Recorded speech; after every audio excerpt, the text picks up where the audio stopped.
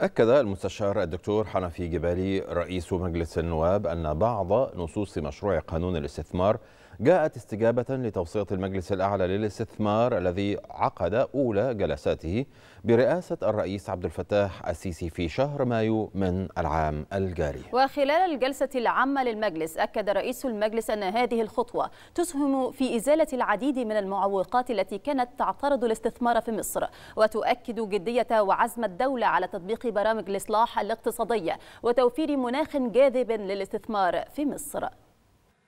كما أن بعض نصوص مشروع القانون جاءت استجابة لتوصيات المجلس الأعلى للاستثمار الذي عقد أولى جلساته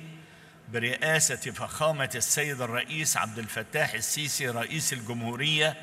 في شهر مايو من العام الجاري والتي تعد خطوة عظيمة تساهم في إزالة العديد من المعوقات التي كانت تعترض الاستثمار في مصر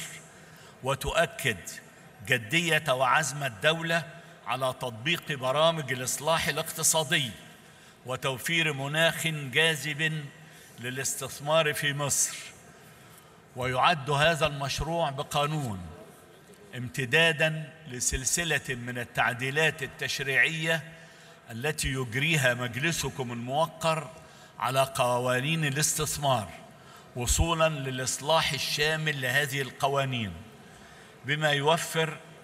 بيئة ومناخا استثماريا داعما ومحفزا للاستثمار في مصر. وذلك كله في ضوء توجيهات القيادة السياسية.